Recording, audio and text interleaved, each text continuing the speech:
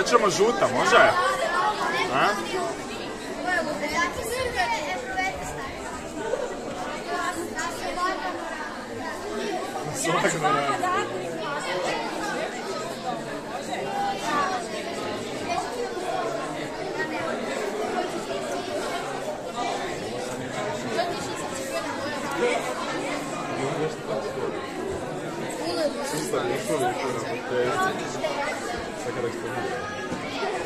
A?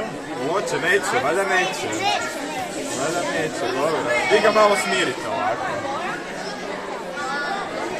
Žuta, je ovako? jedne velike molekule, male velike molekule, ajmo mi to tako zamisliti, i one su jako, jako važne za, cijeli svijet. Je, je, jeste vi danas jeli ujutro? Jeste.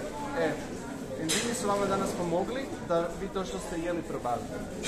Jeste uh, bili mlijeko? Ne? Neko je pio mlijeko. To isto pomažu da to probavite. Uh, svakodnevnici se nama enzimi koriste. Dobro, oni su nama jako korisni. A zašto oni korisni? Zato što te neke reakcije oko nas, pratite me, pratite me, evo ovako, sve te reakcije koje nas mogu biti, mogu